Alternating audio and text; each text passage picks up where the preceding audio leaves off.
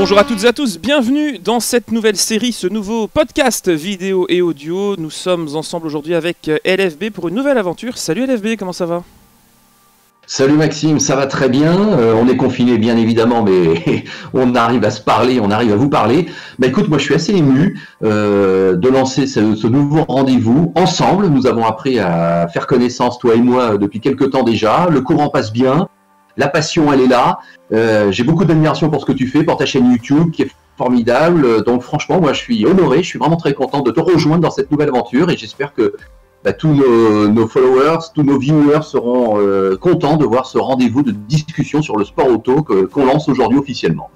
Alors c'est un plaisir qui est partagé puisque moi aussi j'ai découvert il n'y a pas longtemps le podcast de l'Afterlab que tu as créé il y a quelques mois maintenant en prenant euh, soin d'interviewer, en tout cas de consulter des grandes personnalités du sport automobile français. Et euh, j'ai trouvé la démarche plutôt honorable pour un, journaliste. Alors c'est la période évidemment où on va se, dire qu'on s'adore et que c'est formidable, mais c'est vrai que voilà, voir quelqu'un comme toi qui a une énorme expérience, euh, prendre le risque de te lancer sur une plateforme comme YouTube qui est extrêmement parfois rude et, difficile, c'est une belle démarche. Et donc voilà, c'est vrai qu'on s'est un petit peu retrouvé par hasard. Et euh, le hasard fait bien les choses, dirons-nous. Et on est ensemble euh, désormais pour euh, cette, série donc, que l'on a baptisée, vous le voyez, Green White Checkered, qui est donc une série de petite demi-heure qui vous introduira à ce qui s'est passé dans le monde de la Formule 1. Ce sera la partie Green. On parlera, on parlera de sport automobile en général dans la partie White. Et on parlera de l'avenir proche ou à moyen terme dans Checkered. Voilà, je pense que le décor est planté. Petite précision tout de même, si vous suivez cette première vidéo, vous pourrez la retrouver euh, sur ma chaîne YouTube. Le prochain épisode sera sur la chaîne d'LFB et ce sera en alternance comme ça tout au long de cette euh, saison 2020 qui, même si elle est pour l'instant bien pauvre, s'annonce quand même assez excitante parce qu'elle est originale, c'est vrai. hein. C'est euh, une drôle d'année là qui se profile pour nous et qui a déjà commencé. Donc 2020 restera à tout jamais dans l'histoire du sport automobile et du sport d'ailleurs en général, hein, comme euh, quelque chose d'absolument inédit. Et en plus, au moment où on se parle, Maxime, il faut bien avoir conscience qu'on ne sait absolument pas où on va. Donc, on va être réduit là pendant les, semaines qui viennent, sans doute, à faire des supputations, à, imaginer des scénarios. Euh, mais c'est ça aussi qui fait le jeu, évidemment, des débats et des, des discussions comme ça, où on refait le monde. Euh, il va falloir se projeter. Et euh, il va y avoir beaucoup d'incertitudes là qui, qui planent dans, dans- dans nos métiers et, et notre secteur préféré euh, favori. Hein, ouais. En tout cas, ce qui est sûr, c'est qu'on va avoir du, du travail sur les, les perspectives que l'on peut avoir, surtout sur la deuxième moitié de l'année.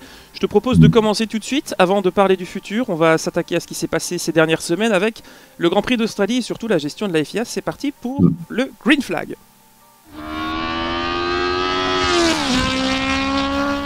C'est parti pour le Green Flag avec euh, pour premier sujet de cette chronique euh, le Grand Prix d'Australie et ce qui s'est passé, en tout cas ce qui aurait dû se passer à Melbourne?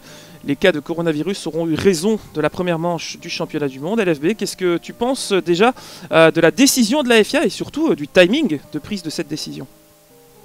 Oui, bah, tu as, tout à fait raison. C'est la question qui retient maintenant l'attention et qui fait que tous, euh, on, on a essayé de regarder cette situation, on l'a on analysé sur le moment, puis maintenant, avec un petit peu de, recul, on voit un petit peu mieux comment ça s'est passé. Bon, alors, ce qui est évident, c'est que la Formule 1, comme toujours, et j'ai envie de dire, et là, je suis un petit peu méchant forcément, mais enfin, allez, on, y va franco, s'est cru un petit peu seul au monde et s'est cru un petit peu au-dessus euh, peut-être des lois, ou en tout cas dans sa tour d'ivoire, et a essayé de, de continuer à organiser euh, le grand spectacle qu'elle propose comme si de rien n'était. Alors je te dis pas qu'il fallait pas qu'elle l'essaye, parce que on était tous, bien sûr, soyons honnêtes, on était tous dans l'état d'esprit de vouloir que cette saison démarre et qu'enfin l'intersaison est finie et qu'enfin le, sport reprenne ses droits et qu'enfin à notre niveau, qui sommes, on est tous passionnés par ça, ça y est, on revoit le grand duel Mercedes, Ferrari et, c'est reparti comme si de rien n'était. Enfin Maxime, hein, on est tous d'accord. On savait bien que la situation mondiale était plus que limite, que déjà les, grandes annonces d'annulation de report d'épreuves dans tous les sports avaient eu lieu. Et effectivement, je crois qu'il semblait quand même à tout le monde étonnant que la Formule 1 continue presque comme si de rien n'était. Et que même le Grand Prix du Vietnam, euh, par exemple, euh, très proche de la Chine, soit, soit encore maintenu au moment où tout le monde a débarqué dans le paddock de Melbourne. Bon, donc écoute, à un moment donné, la réalité, euh, tel un boomerang, pour employer l'expression, une expression australienne, a frappé. Et donc la réalité est revenue et la Formule 1 n'a pas pu euh, éviter la réalité, de se prendre le boomerang de la réalité en, en pleine face. Donc que le Grand Prix soit annulé, je crois qu'il n'y avait pas d'autre solution. Ça ne pouvait pas avoir lieu compte tenu d'un contexte mondial marqué par une crise sanitaire euh, globale. Bon, après, je te laisse la parole dans quelques instants. Euh, effectivement, il y a eu, semble-t-il, une cacophonie euh, sur place avec une, une, annulation qui a été officialisée euh, quelques minutes même avant le début des essais libres, alors que depuis la veille, on savait très bien que c'était fini. il y a des rumeurs qui disent que même certains pilotes étaient repartis. McLaren avait de toute façon déclaré forfait. Il y avait des cas avérés de coronavirus. Donc, j'ai intitulé, moi, dans mon dernier épisode de podcast sur la Afterlap, Fiasco coronavirus. Bon, pour faire un petit jeu de mots qui est peut-être un petit peu dur, mais enfin, on a quand même le sentiment que ça a patiné. Et je veux bien croire qu'il y a des raisons d'annulation de l'égalité par rapport aux assurances ou par rapport. Mais enfin bon, euh, c'est sûr que ça n'a pas donné une excellente image de bonne gestion de la part de la Formule 1. Voilà. Est-ce qu'on est trop méchant en disant ça ou est-ce qu'il n'y avait pas d'autre solution pour eux? Je sais pas. Mais en tout cas, on ne peut que constater que ça a patiné. Voilà ce que j'ai envie de te dire. Et toi, qu'est-ce que tu en penses? Effectivement, la réaction était la pire euh, de la part de la FIA, puisqu'il fallait soit faire un choix et continuer l'événement comme au rallye du Mexique et aller jusqu'au bout, même si c'était plus simple, parce que là, ben, les, supporters ne sont pas confinés, ils sont au bord de la route, ou tout simplement annuler avant même l'arrivée des équipes euh, l'événement, puisque euh, ça a été une erreur de communication, tout le monde a été déçu, que ce soit les équipes, les pilotes étaient partis, comme tu le disais, en tout cas la rumeur avait, couru sur les réseaux, les supporters sur place étaient empaquetés que, comme, des, comme des bestiaux limite à l'entrée du circuit, ce qui était le pire à faire pour eux aussi.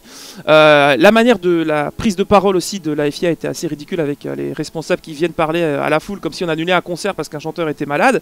Je trouve que c'était pas très structuré et professionnel alors que la FIA aujourd'hui a les moyens, de par ces deux championnats phares, même s'il y en a d'autres, mais le rallye et la Formule 1, de communiquer de la plus belle des manières. Malheureusement, dans les deux cas, ça a été un fiasco. On l'a vu avec Sébastien Augier, on y reviendra peut-être plus tard aussi, qui n'était pas content. Mais les pilotes n'ont pas été satisfaits. toutes les sociétés de gestion de la F1 parce qu'au niveau logistique c'est exceptionnel ce qui se passe quand il y a un Grand Prix. Arriver dans Melbourne c'est pas simple.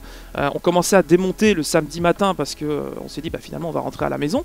Euh, on a attendu quand même le vendredi parce que certains disaient que certaines écuries voulaient quand même courir à huis clos. Enfin bref, ce n'était pas établi. Donc erreur de communication. Une fois de plus, la F1 a voulu jouer avec ses moyens, son image et ses supporters. très déçu très déçu. Moi, personnellement, j'aurais souhaité que l'annulation pure et simple soit faite bien avant le début de la première séance. Ça permettait aux gens sur place, de 1, de ne pas se déplacer, de ne pas prendre de risques. De deux aux personnes en France ou ailleurs au niveau euh, horaire euh, de garder quand même une certaine structure dans leur week-end parce que les gens qui travaillent le samedi, etc., c'est un peu compliqué de se réveiller quand on est fan à 2h du matin. On connaît ça, mais on n'a pas toujours la possibilité de le faire dans les meilleures conditions. Donc effectivement, euh, nous sommes tous les deux d'accord pour dire que ça a été extrêmement mal géré, que ce sera une énième folie de la FIA de ne pas avoir choisi eh bien, la sagesse. Ben voilà, je crois qu'on on est tous les deux d'accord. on rajoute l'image aussi un peu désastreuse euh, d'aller euh, faire euh, le tour du monde en avion deux fois finalement puisqu'il faut bien y aller à Melbourne pour finalement repartir alors qu'il s'est rien passé. Tu as le sentiment que c'est un gâchis incroyable et qu'effectivement il y avait peut-être moyen d'être un petit peu plus raisonnable et d'être d'anticiper un petit peu plus les choses et de ne pas avoir organisé tout ce barnum, même si sans doute que nos amis australiens ont le sentiment que c'est un peu injuste, parce que je sais que chez eux le coronavirus c'est pas pas complètement dingue, euh, que les cas sont, sont, sont, relativement minimes par rapport à la population, mais là on est dans une politique globale euh, d'événements sportifs et de sport pour ne pas dire de politique mondiale, euh, et qu'effectivement, à un moment donné, euh, ces discours euh, de comme si, comme si de rien n'était, en quelque sorte, ne sont plus audibles. Hein, Maxime, je crois qu'on est tous d'accord pour dire non, la, la, la Formule 1 devait se, devait d'examiner la, la réalité, elle ne l'a pas fait. Non, elle s'est une nouvelle fois mis les œillères pour mm. dire non, non, moi je continue quoi qu'il arrive, et après ils se sont réveillés mais beaucoup trop tard. Alors, euh, ce qu'on aurait pu espérer, c'est effectivement que ce soit annulé avant ou que ça continue. Est-ce que tu penses que le Grand Prix aurait pu être tenu dans ces conditions-là, quitte à le faire à huis clos, comme c'était initialement prévu à Bahreïn? C'était peut-être un peu utopique de continuer à, faire les choses comme si de rien n'était euh, à Melbourne ben oui, non, non, non, non, je crois qu'effectivement, écoute, le, le, MotoGP avait annulé euh, ses quatre premières courses bien longtemps avant. Maintenant, on se rend compte que le MotoGP a été un des premiers à réagir. C'est bien quelque chose qui nous attriste. Faut bien, faut, on en est bien conscient pour nous, c'est terrible. C'est vraiment ce qu'on ne voulait pas. Euh, on est privé du spectacle sportif, on est privé de, nos sports mécaniques, on est privé de ce qui nous fait vivre et, j'ose dire de, notre métier même. bon, donc euh, effectivement, c'est terrible. Mais à un moment donné, effectivement, on peut pas faire comme si de rien n'était. Donc la Formule 1 a tenté jusqu'au dernier moment. Euh, et à la rigueur, je suis prêt à accorder le fait qu'en Australie, peut-être que dans certaines conditions, on pouvait, on pouvait s'adapter. Mais le Vietnam, c'était pas possible. Bahreïn, euh, c'est assez injouable compte tenu en plus des transports. Euh, donc il fallait effectivement décréter, comme l'IndyCar aussi l'a fait, une sorte de période blanche. Euh, on laisse passer le mois d'avril, qui devient un mois bah, zéro, vierge, et, on se retrouve au mois de mai dans le meilleur des cas et on voit ce qu'on peut faire on voit ce qu'on peut faire et je pense qu'on va pas pouvoir faire grand chose étant donné l'évolution de la situation ah depuis ce Grand Prix euh, d'Australie. Euh, bien, bah, maintenant, c'est euh, rideau de fer baissé sur tous les, tous les événements. On parle d'un début de saison à Zandvoort ou à Bakou. on y reviendra peut-être une prochaine fois, mais c'est vrai que si on veut conclure sur ce qu'était le Grand Prix d'Australie, c'est un Corona fiasco, comme tu l'avais dit effectivement. voilà, le, bilan il est négatif pour tout le monde, peut-être pas pour le sim racing. Hein. on va effectivement en parler avec le ah, Note The Grand Prix qui avait été tenu avec même des joueurs de football. Tu connais bien, il n'y a pas de problème. C'était euh, une belle une belle histoire là aussi. Brièvement, ça a été mis en place par une équipe e-sport qui a recruté des vrais pilotes comme Lando Norris, Max Verstappen, Stoffel Van Dorn, etc. Et ils se sont amusés à refaire le Grand Prix d'Australie. C'était un joli clin d'œil aussi, une belle publicité. Et euh, ça montre malheureusement aussi le côté ridicule de ce que la F1 peut parfois apporter dans, dans ses décisions alors qu'on attend euh, de, sa part une maîtrise totale. Même si Liberty, je pense, a fait pas mal de progrès par rapport à la belle époque euh, Bernie Ecclestone, euh, les choses restent encore à euh, être apprises à l'européenne, en tout cas pour nos amis de Liberty Media. Oui, juste pour conclure peut-être, on n'est pas là pour donner des bons ou des mauvais points, mais force est de constater que Lewis Hamilton a été bien. Lui qui nous a parfois habitués à des, des, prises de parole un peu, un peu artificielles, un peu anecdotiques, pas très profondes, disons-le franchement. Euh, là, bon, il a exprimé effectivement un sentiment général. Qu'est-ce qu'on fait là? C'est choquant, a-t-il dit. Euh, on s'attendait pas forcément d'ailleurs à ce qu'il le dise de manière aussi nette, mais euh, ça veut dire qu'il le ressentait. Ça veut dire qu'il a pris son rôle bah, de champion du monde en titre et de forcément le pilote mondial le plus connu, le plus emblématique euh, toute discipline confondue. Là, il faut forcément lui, reconnaître ça. Quand on est le champion du monde de Formule 1 en train de réécrire peut-être même tous les records de, sa discipline, on est le pilote le plus connu au monde. Et euh, il a globalement euh, mis une sorte de, point final à cette histoire parce qu'à partir du moment où il s'est exprimé, rien n'était plus comme avant. Et même si en coulisses, les équipes, on sait que Red Bull voulait quand même courir, bah oui, tu l'as dit, là, ça c'est là aussi maintenant, ça semble vraiment ridicule. Euh, bon, bah, ce qu'a dit Lewis Hamilton, là, euh, respect, bravo, euh, il n'a pas eu peur de le dire et peut-être même d'aller à l'encontre un petit peu des autorités de son sport. là, je, peux que, dire bien joué, chapeau, chapeau Hamilton. Et dernier point positif, le comportement exemplaire d'un Carlos Sainz qui, soupçonné d'être positif au coronavirus, s'est lui-même mis en quarantaine par précaution.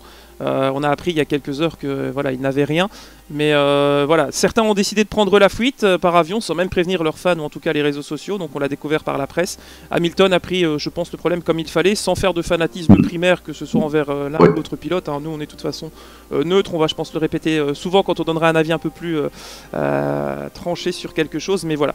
En tout cas, voilà ce qu'on avait à nous dire sur ce Grand Prix euh, d'Australie. On passe tout de suite à la deuxième partie de ce podcast, euh, le drapeau blanc White Flag.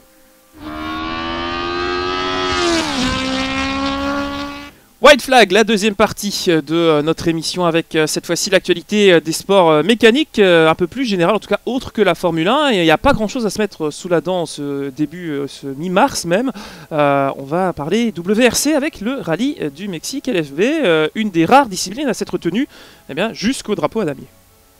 Oui, on se souviendra peut-être que en ce mois de mars 2020, euh, tout n'était pas encore euh, en mode blackout et qu'effectivement le rallye du Mexique a eu lieu. Alors écoute, là, ça, fait moins scandale, je trouve, que le, Grand Prix d'Australie, parce que bah, d'une part, ça a été géré jusqu'au bout, l'épreuve a bien eu lieu. Je crois qu'honnêtement, ça choque pas complètement le monde entier si effectivement une course automobile a lieu au Mexique, dans une région qui est vraiment pas encore complètement touchée par le coronavirus, c'est que et que là où on, aurait accusé la F1 sans doute d'être un peu dans sa tour d'ivoire, bon, le rallye c'était prévu, on comprend bien que c'est en pleine nature aussi, bon, euh, qu'il y a moins de spectateurs, je crois qu'il y, a des raisons objectives qui font qu'on comprend que ça ait lieu et que ça a été un peu la dernière malgré tout, ça c'est sûr. Euh, cela étant, ça a bien été euh, raccourci. Hein.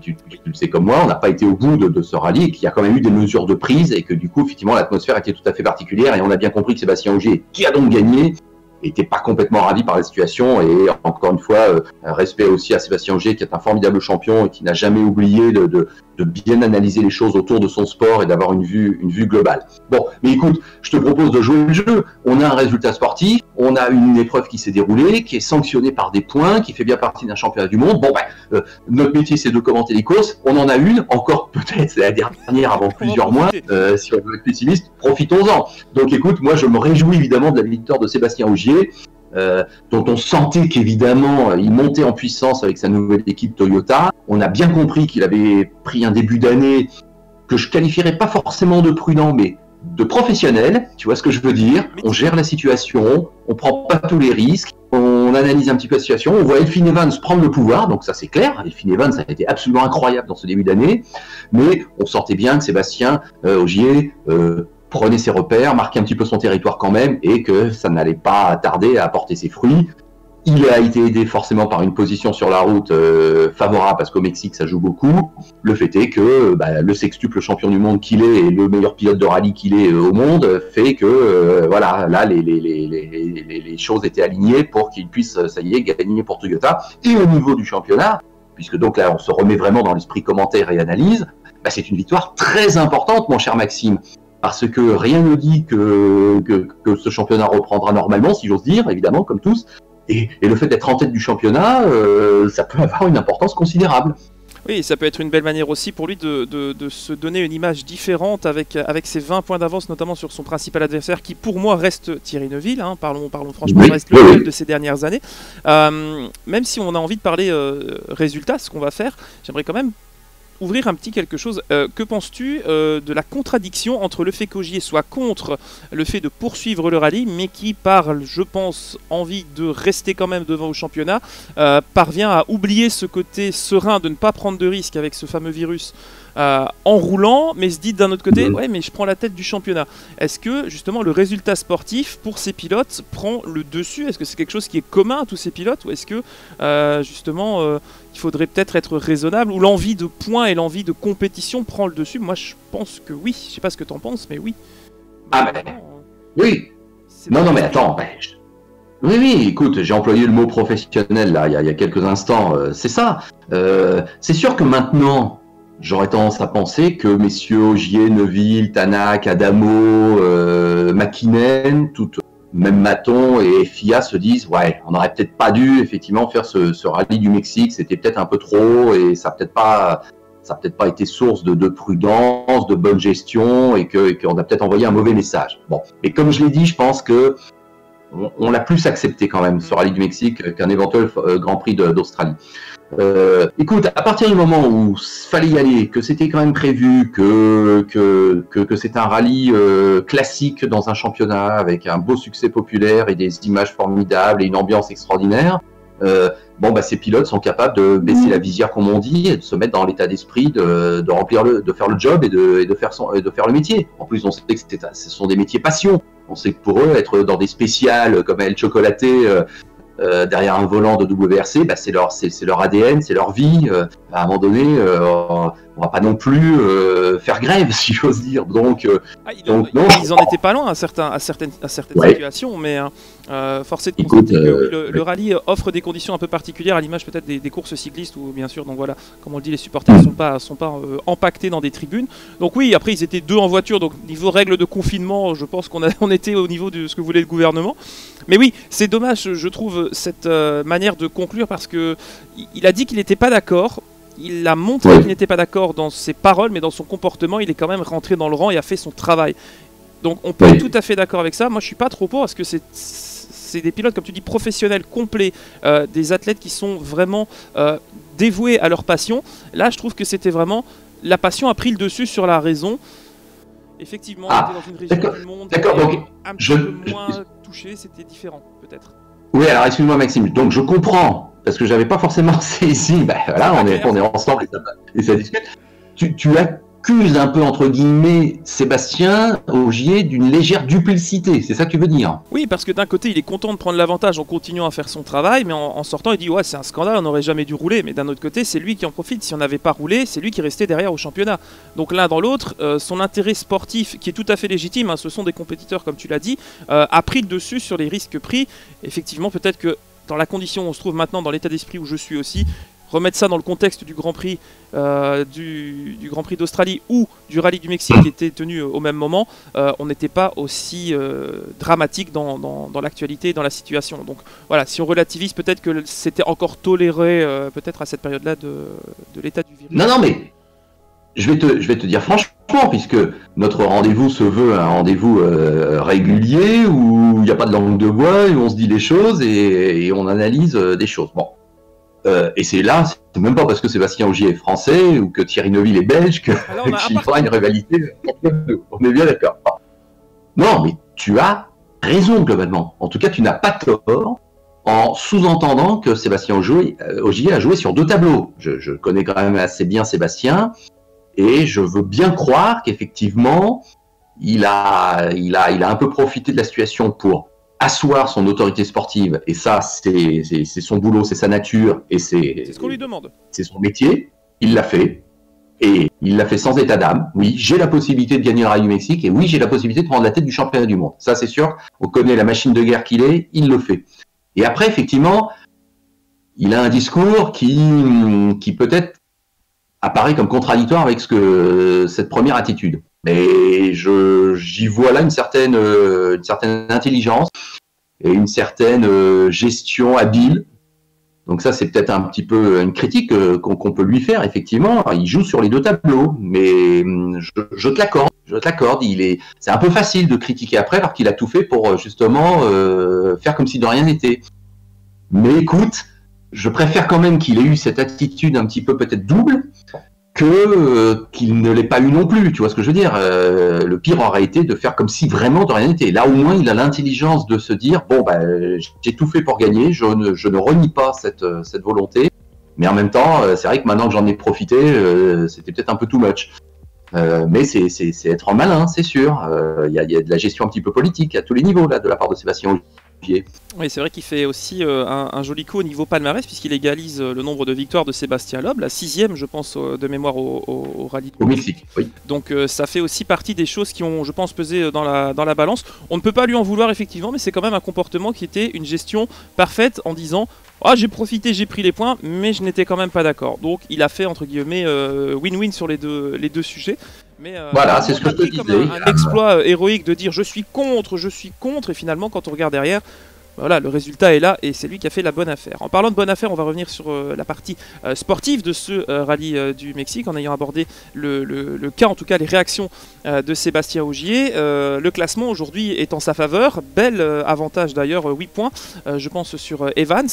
ça fait quand même déjà un, classement qui établit une hiérarchie où Toyota continue de dominer. Hyundai a encore du mal à garder le rythme. Neuville qui a encore eu des problèmes aussi avec quelques soucis de, de pneumatique notamment donc euh, difficile de voir euh, la suite du championnat. Comment tu vois les choses évoluer euh, encore en la faveur de, Toyota ou un éventuel réveil d'un certain Rovan Pera qui impressionne en ce début d'année par exemple? Alors non, pour te dire franchement, Rovan Pera, je suis prêt à parier. Alors là aussi, partons du principe que la saison est normale et que globalement on a le nombre de manches prévues. Et là, on se projette, c'est c'est le plaisir de notre jeu et de, de notre rendez-vous Green White Shaker, forcément. Bon, donc écoute, dans l'année, je suis prêt à parier que Pera va et doit gagner une, un rallye, que c'est pratiquement écrit, que ce jeune génie du, du, rallye va y arriver et que euh, l'année 2020, dans la, série apprentissage, passera par déjà une victoire. Oui, ça, j'aurais tendance à, à signer euh, de manière assez raisonnable.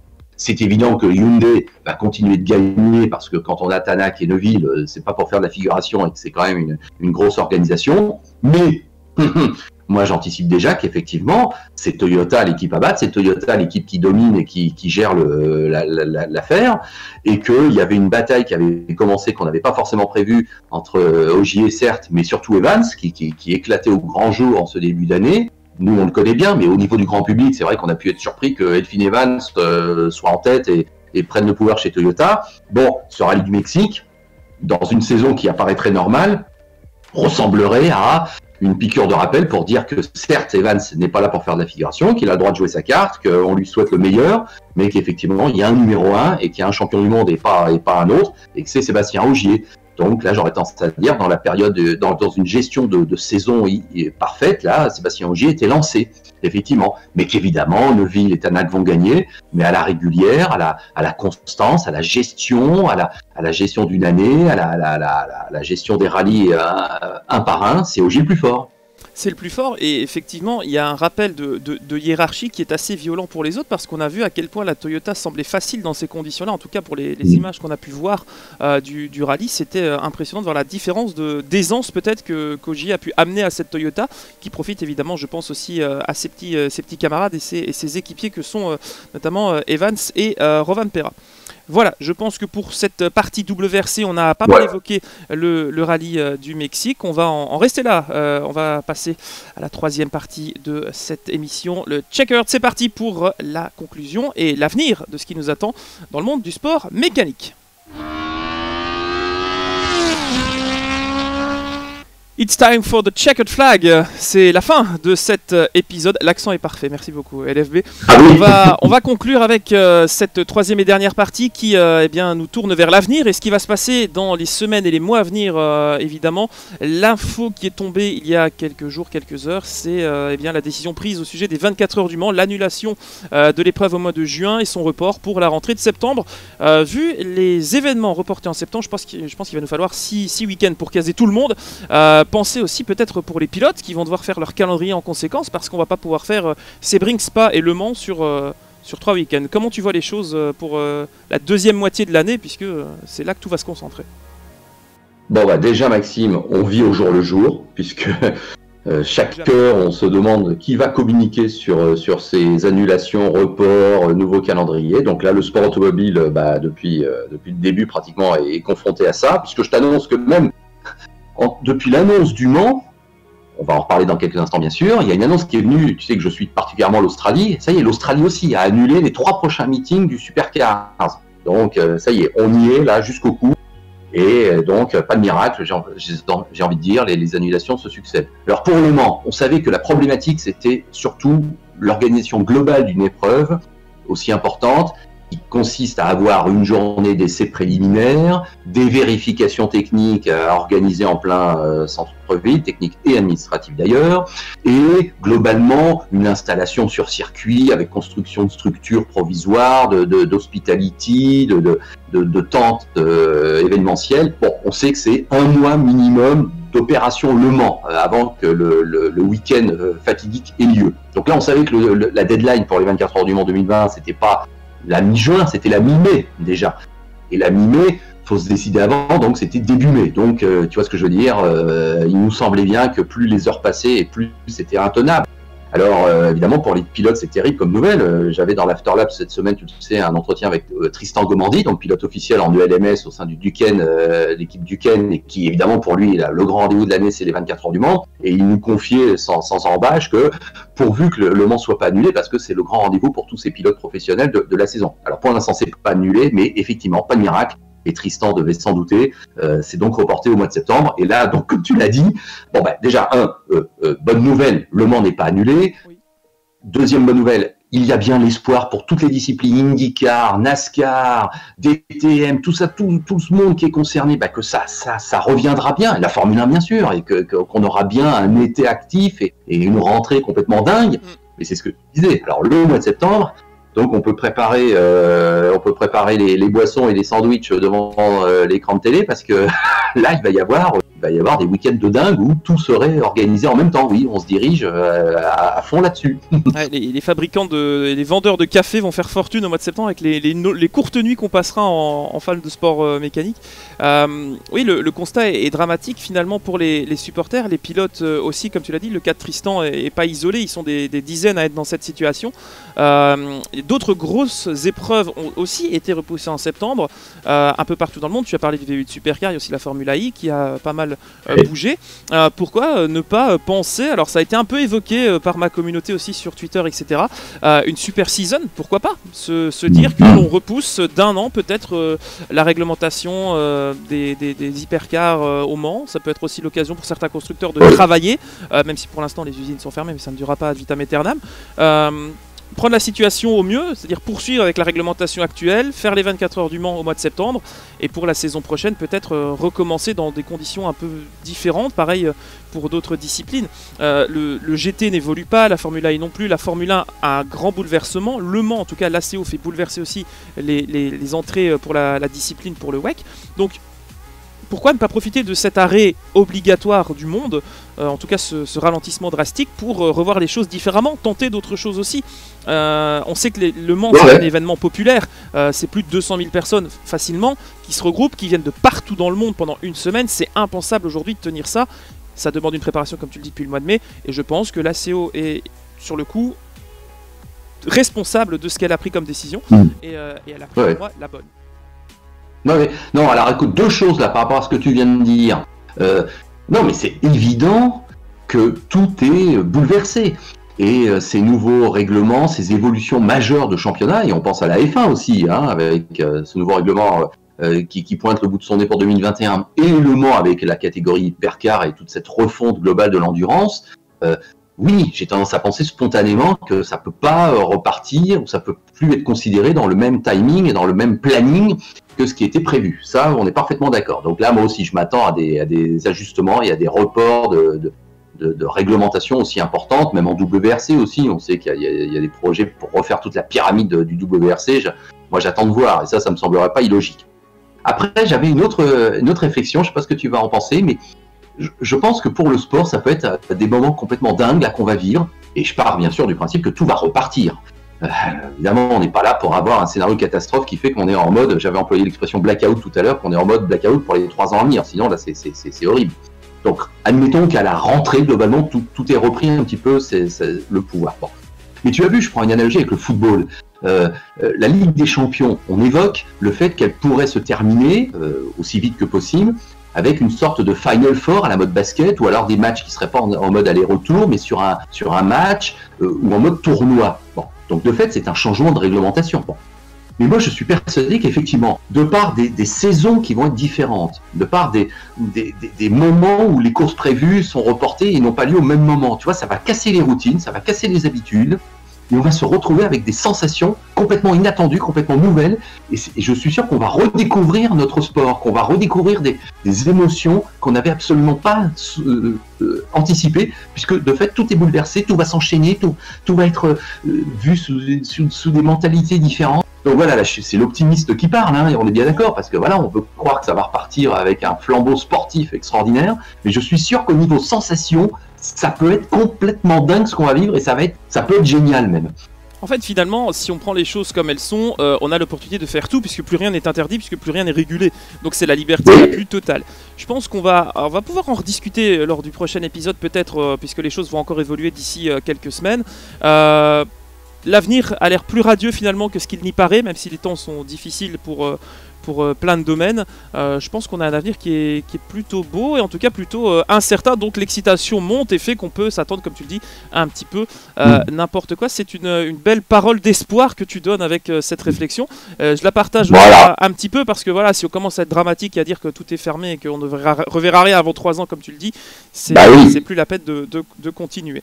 je pense qu'on va pouvoir, si tu le veux bien, refermer ce premier épisode. En tout cas, on a fait un petit tour d'horizon de l'actualité. On vous invite maintenant vous à réagir. Vous avez euh, le hashtag euh, Twitter qui est disponible GWC. Euh, si vous avez des questions, vous pouvez les poser dans le descriptif en dessous de la vidéo YouTube, puisqu'on les prendra peut-être pour en répondre à certaines lors de la prochaine émission, la deuxième émission, qui est prévue dans environ deux semaines. On va essayer d'être toutes les deux, trois semaines selon l'actualité ensemble pour vous parler de ce que nous on pense. Deux avis différents, celui du LFB, journaliste un peu plus sage, un peu plus grand esprit, et moi un peu plus fougueux et jeune et moderne. Je sais que voilà, c'est dur à entendre, mais bon, euh, je n'ai plus 12 ans non plus. Voilà, donc euh, merci à tous d'avoir suivi ce premier épisode. On va euh, évidemment vous rappeler que vous pouvez nous retrouver ailleurs. c'est le cas d'LFB notamment sur son site l'Afterlab. Est-ce que tu peux nous parler peut-être de ton prochain sujet de podcast que tu aborderas, je pense, ah bah, écoute. sur l'histoire encore une fois? Oui, oui, oui, écoute, bah, rapidement, donc sur www.afterlab.com et puis sur toutes les plateformes habituelles de podcast, hein, bien sûr, l'Afterlab, toutes les semaines, je vous propose un épisode et je donne d'ores et déjà rendez-vous pour l'épisode 32. Écoute, oui, je, je, vais saisir la balle au bon, annulation des 24 heures du Mans. Bon, bah, on va entretenir la flamme, hein, on est là pour ça. Tu l'as suffisamment aussi répété dans, dans cette dernière intervention de ta part et je te suis à 200%. Euh, donc, euh, je voulais vous raconter depuis longtemps euh, des éditions du Mans qui ont marqué et moi, il y en a une qui m'a qui m'a marqué, c'est l'année 56. Alors, te rassure, j'étais quand même pas né, mais euh, j'ai bien étudié les dossiers et il s'est passé cette année-là pas mal de choses vraiment intéressantes. Donc, comme je suis là dans mon rôle un petit peu bah, de, passeur de témoins et de, de, raconter des histoires et notamment du passé, d'entretenir la flamme du sport auto, bah voilà. Donc, lundi prochain, euh, ça sera mis en ligne, épisode 32, Le Mans 56, une édition effectivement assez, assez incroyable. Voilà. Merci Maxime en tout cas. Je suis ravi vraiment d'avoir fait ce premier numéro avec toi. Je sais qu'il y en aura plein d'autres et qu'on est là pour, euh, pour entretenir euh, donc la flamme et déverser notre passion euh, parce que voilà, on se refait pas. Mais en tout cas, j'espère que bah, vous aurez apprécié. On n'est pas on n'est pas de la même génération, mais c'est ça aussi que je pense qui est bien que, que, différents avis puissent se confronter. Puis après tout, si on pensait toujours la même chose ou si on disait toujours les mêmes choses tous les deux, ça serait pas drôle. Donc voilà, on n'est pas en désaccord, mais, mais on se dit les choses franchement et c'est super. Bah écoutez, merci à toutes et à tous d'avoir suivi ce premier épisode. Toutes les informations sont dans la description. Rendez-vous très vite pour de nouvelles aventures. Merci à toi LFB pour ton temps. N'hésitez pas à nous dire aussi ce que l'on peut améliorer. C'était un peu un épisode pilote, on va se l'avouer. On a fait ça avec euh, plus de passion que de moyens, mais ça fait aussi partie du jeu. Rendez-vous très vite et à la prochaine. Salut Salut